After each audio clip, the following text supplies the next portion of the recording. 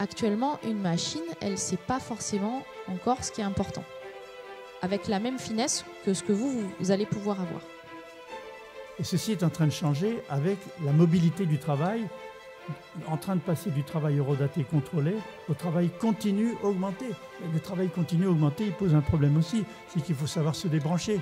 qu'on ne soit plus obligé de se battre et de créer des compétitions entre nos différences, entre nos diversités, qu'on n'ait plus besoin de débattre de la place de l'homme et de la femme, de la femme et de l'homme, savoir euh, qui a le pouvoir, etc.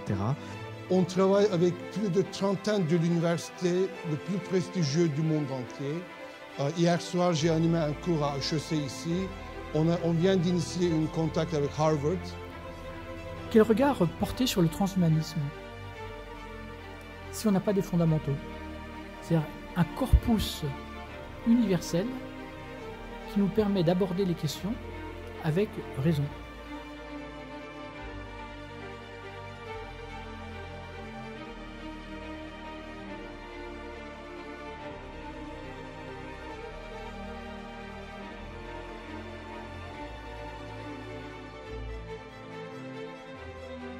J'ai donné ma vie à cette association IMED pour la jeunesse et la paix pour euh, aider cette jeunesse. Donc on a l'excellente idée, parce que vous avez compris qu'on avait des idées brillantes dès le départ, d'encourager partout, partout le, le changement de perspective.